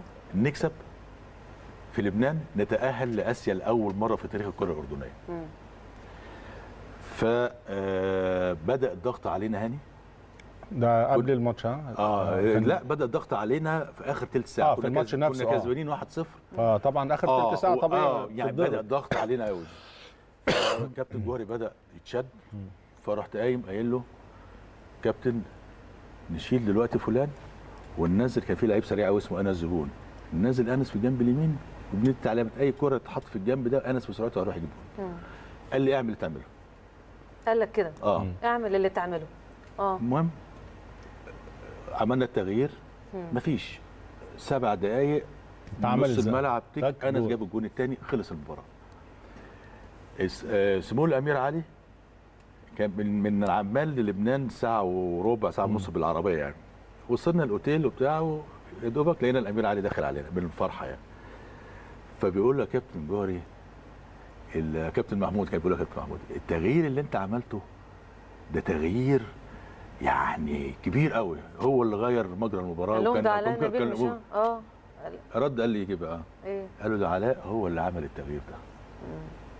بوريكي المدير الفني ال- الكبير اللي واثق في نفسه وواثق ما فيش حد صح. ممكن يقول له ممكن جدا أي يعني حد تاني يقول له اصل آه. أنا أصل أنا. لقيت هاني يعني- جاي مزود آه، 90 فرحت منزل له ومش عارف علاء ده 100 حقيقي. واخد بالك؟ فوريكي مدرب كبير بقدر كابتن محمود الجوهري اللي هو يقول لسمو. حتى بعد ما قلت له يا كابتن ليه ليه تقول إحنا كلنا في جهاز واحد وأنت كبرنا. قال لي لا عشان يعرفوا أنا جايب مين معايا في, الجهاز. آه، حاجة محترمة آه، جدا جدا ومش يقول رد. على ال- السؤال اللي حضرتك بتقولي اللي هو بيثق فيه آه، علاء نبيل بس إحنا أنا بفتكر كابتن المكسيك. المكسيك يمكن كانت أنا شايف إن إحنا عملنا بطولة لحد ما لكن طبعا مباراة السعودية اللي كان فيها مشكلة. آه، حصل حصل حوار أو مشكلة بالنسبة لعلاقات داخل الجهاز في في في رحلة المكسيك دي بالذات كان في إحنا كن- كنا لعيبة كنا حاسين إن في مشكلة ما. يعني في مشكلة إن إحنا يمكن رحنا بدري شوية أنت فاكر إن إحنا رحنا آه قبلها كانت فترة زهق. قبليها بشهر فترة تقريبا. يا كابتن آه، عشان نتأقلم على الجو آه، وعلى آه. وعلى وعلى. فحسينا إن الفترة عشان رحنا بدري شوية بدات بدأت ال- الأمور يبقى اللعيبة تزهق و والجهاز يزهق آه، و- آه، وده يعني آه هي هي من دي من أسوأ فترات منتخب مصر ده حقيقي. مع كابتن محمود الجوهري. سواء اللعيبة كانت حصلت مشاكل آه صغيره بالظبط. والجهاز برضو حصل بقى فيه تاتشات ما بين أحد أفراد الجهاز واللعيبه فبدانا لا حتى الكابتن قال لي لا في حاجة مش مظبوطة. هو بقى كان بتفائل وتشاؤم قوي كابتن جوهري. والله. آه، كان من الناس. دي. كان من الناس دي. كابتن جوهري اللي آه، بتتفائل جوهري. وتتشائم آه، طبعا آه. ف ده كان الأكل بيتشائم كمان. من إيه لا الأكل. نعم. بجد؟ للدرجة دي؟ آه يعني لدرجة هو كابتن جوري عنده طقوس كده يعني فهو حابب لو إحنا اتغدينا مثلا مكرونة والماتش مشي كويس فنخلي الغدا يعني يا ريت الغدا يبقى مكرونة. بجد والله؟ آه. في في حاجات حاجات أنا كده. بتشائم من إحدى المطربين بدون ذكر اسماء بتشائم منه بتشائم منه. حضرتك؟ آه جدا. ليه جداً. بقى؟ عشان لما بيغني هو- بص حضرتك أسمعه. لو أنا خرجت العربية دايرة ولقيته في الراديو ممكن العربية تخبط وهي واقفة. بجد آه والله لا لا لا فظيع معايا. فبدون ذكر اسماء بقى هتقول لي بعد ما نخلص لا لا بلاش ذكر الاسماء والله لو قلته لك هيحصل. لي حاجة وحشة آه، بلاش، يا بلاش. ساتر يا اكتبه لي وأنا فاكر ماتش الجزائر اللي كان في أسوان قبل بوركينا فاسو اللي اتغلبنا فيه كان إعداد؟ قبل بوركينا فاسو اللي كان لعبناه في أسوان لعبت أنا الماتش ده ولا كنت آه بره؟ كنت موجود لا مش فاتغلبنا. فيه فإيه إحنا كنا قبليها بيوم عازمنا في ال في النايل سيتي في أيوه رحلة نيلية. إن إحنا إحنا نلاقي فواحد واقف ورانا بالكمانجه عمال يعوق يا عم ارحمنا وعمال يغني يا عم ابعد عننا أو آه. غني أي حاجة تانية. ما فيش. تاني يوم اتغلبنا اتغلبتوا؟ آه فقلت له يا كابتن ربنا يستر من النهار عارف فالمهم إيه اتغلبنا وراح عاملين اجتماع. بتاعك كمان عزف. وهو غني له. يا عم الله يهديك يعني إيه غني حاجة ثانية غني حاجة ثانية أو ابعد من هنا روح غني للعيبة ما فيش. آه. المهم بقى جمعنا وبتاع ومكشر ومش عارف أنتوا عارفين اتغلبتوا ليه ومش عارف إيه؟ المهم آه. كلنا اتشدينا. قال لك عشان سمعنا فلان الفلاني. لا والله. آه راح ضحك. آه والله. بس كان بيهزر يعني. آه أكيد لا مش هو يعني أكيد مش دي الأسباب الحقيقية. هو روح دعابة يعني هو قلبها يعني آه. تمام بس هو آه بعد كده لا خد باله. خد باله ما ما ده, ده ما اشتغلش خالص يعني. لا بس الكابتن كنت يعني الكابتن جاري كان بيحب شغله لدرجة الجنون. وأنا عارف إن ساعات بتبقى في أنت بقى بتحسها كمدرب عام أو مدرب مساعد. إمتى أكلم الكابتن جوهري؟ وإمتى لو في معلومة أو في حاجة ما ما أقدرش أتكلمه دلوقتي. خلينا نتكلم على ال- العلاقة دي كانت ماشية إزاي. مساعدين الكابتن جوهري كان كانت العلاقة ماشية بيه إزاي يعني؟ آه العلاقة طبعا كابتن جوري كان الناس تقول عليه دكتاتور و... لا كابتن جوري كان بيستمع كان بيستمع كويس قوي بدليل الموقف اللي حضرتك قلته آه لا وب- كان بيستمع. آه، فعلا يعني- حد كان آه. دايما الكابتن جوهري اللي بيتقال إن هو ما بيسمعش لحد يعني. آه ومثلا في مثال مباراة المغرب فاكر إحنا عملناها هنا كويس قوي دي فاكر؟ وغيرنا لك ال position بتاعك يوم المباراة.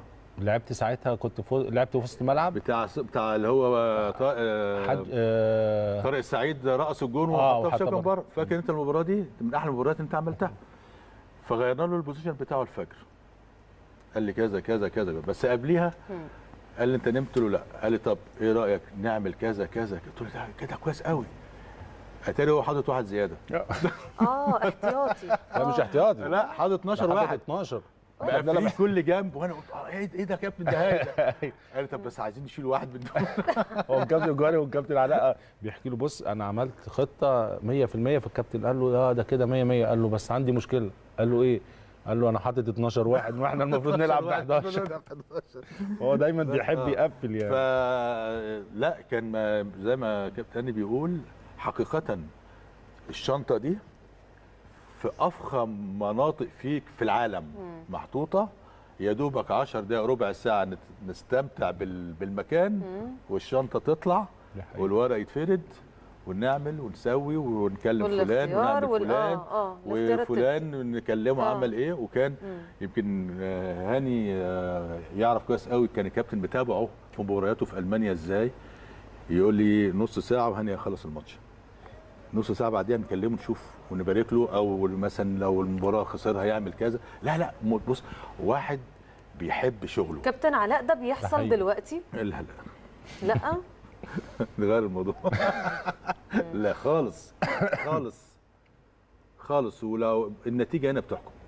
مفيش حاجة بقى هنا اسمها اتصال مفيش اولا مفيش الأوبشن ده خالص مفيش ال- المدرب اللي هو بيقضي حياته أو وقته كله لل لل- في عمله آه، آه لا. لا لا هو خالص. كابتن علاء يعني كابتن جوهري إحنا عارفين كان يعني خلي بالك يفرق برضه يا سامو كابتن علاء بيفرق ال- ال- الزمن ال social media دلوقتي مختلفة ال- الماتشات يمكن الماتشات بتاعت أوروبا دلوقتي بتتذاع على كل القنوات فالمتابعة بقت أسهل شوية أنا على فكرة لا مش بتكلم كابتن هاني في حتة إنه يكلمك أو ي...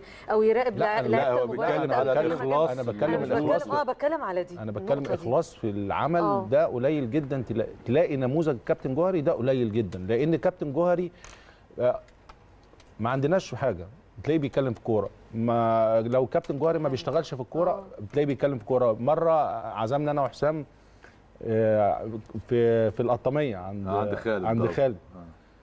فقلنا بقى هنتغدى بقى ونقعد نتكلم. اتكلمنا في الكوره ما ما هو دي حياته. هي حياته. يعني دي حياته هي كده. حياته يعني حقيقي. آه فالنموذج ده صعب يتكرر لكن على فكرة كابتن جوهري الوحيد اللي جالي ألمانيا كنت بلعب في كازازلاوتن الوحيد اللي راح لي لغاية النادي وزارني هناك وقعد مع المسؤولين وفرجته على الاستاد. يعني زي ما بقول لك راجل كان عايش حياته للكورة. دي حقيقة. وكابتن ده جوهري حقيقة. كان مرة أول فاكر كابتن علاء بعد ماتش المغرب والمرة الوحيدة بقى اللي لقيت كابتن جوهري راح واخدني. ودخل بيا الحمام قال لي إيه ده؟ بعد ماتش المغرب طبعا. لما لما آه. زعقت في الأوضة. زعقت في الأوضة لأن إحنا ما كناش عايزين نلاعب ساحل العاج. فكمل بقى أنت الرواية دي عشان ساحل العاج دي ليها قصة يعني. إحنا إحنا آه. آه. كسبنا أول ماتش آه، زامبيا وبعدين موزمبيق وبعدين آه، خلاص اتأهلنا من غير ما نلعب مباراة المغرب. بس كنا بنلعب على أساس إن إحنا تعادل نطلع أول مجموعة. بالظبط. حتة أول مجموعة دي برضو يعني إيه شو حلو أول مجموعة. اتغلبنا المغرب بجون الوحيدة اللي جت علينا وجون لو اتكرر 100 مرة مش هيجي. هاجي. فاكر؟ آه. فالمهم رجعنا العربية سودة وشوش الجهاز وشوش اللعيبة. طبعا. آه، يعني, يعني- إيه ده إيه ده في آه. إحنا إحنا برضو تأهلنا يعني. دخلنا كجهاز قعدنا مع بعض اللي عامل كده واللي عامل كده وكابتن جوهري وشه مقلوب. آه، فظيع. خدنا بعضينا هناك. صحراء طب خدنا بعضينا قعدنا نتمشى في الصحراء كده. أيوه في الصحراء آه صحراء صحيح والله. قعدنا اتمشينا في الصحراء وهنعمل إيه وهنرجع وهيقولوا إيه وهنعمل إيه وبتفكري بقى في حاجات يعني مش كويسة. رجعنا ال- ال- الشاليه ده لقينا الكابتن جوهري قاعد في الصالة. أنتوا كنتوا فين؟ يا كابتن في إيه؟ إيه بقى؟ إيه كنتوا فين؟ إيه بقى؟ كنتوا فين؟ و... أنتوا إيه اتأخرتوا ليه كده؟ ومش عارف إيه وبتاع. في إيه يا كابتن؟ آه. إحنا سايبينك يعني لو كل حد اتكلم عنك قال لك في حاجة كان ممكن مثلا هو لقيت وشه مرتاح يعني وبيزعل خالص وش مبتسم وبتاع. القصة كالآتي. يعني فعلا اللي قال اللي وراء كل رجل عظيم امرأة نموذج مدام سلمى. لمدام سامية. سامية آه. جوهري اللي هي كانت زوجة الكابتن آه، محمود الجوهري الله يرحمه كلمته مم. وقالت له أنت زعلان ليه؟ مم. انت فرقتك ما تستحملش تلاعب تونس الساعة 3 الظهر لأن كنا طلعنا الأول كنا نلاعب تونس الساعة 3 الظهر. إحنا طلعنا الثاني فبتقول له انت هتلاعب كوت ديفوار آه ماتش قوي بس هتلعبه بالليل. بالليل بالظبط. أيوه. مم. وكانت كسبنا كوت ديفوار كسبنا بوركينا فاسو لعبنا النهائي. ده فوريكي الزوجة اللي بتقف جنب جوزها. حضرتك بتقول لي إن كانت دايما يعني قبل المباراة خسرته كسبته هي معاه ما بتفرقوش لحظة على التليفون. التليفون ت- الوحيد اللي آه. بترد عليه قبل المباراة بيوم بالليل. بعد حبيبتي. كده التليفون ده بيتقفل. تقول له بالتوفيق وما كانش فيه معاك. موبايلات بقى يعني لا كان في موبايلات كان بس في إيه؟ موبايلات في الوقت آه آه؟ كانت ما إحنا رجعنا من بوركينا فاسو كان في الموبايلات كانت 98 96 كانت موجود كانت 98 كانت موجودة. أول حاجة 97 96 ما كانش فيه 97 97 كانت في موبايلات آه. 98 بدأت بقى الموبايلات. كان التليفون يتقفل خلاص كابتن جوهري بيفصل. بيفصل عن العالم خالص.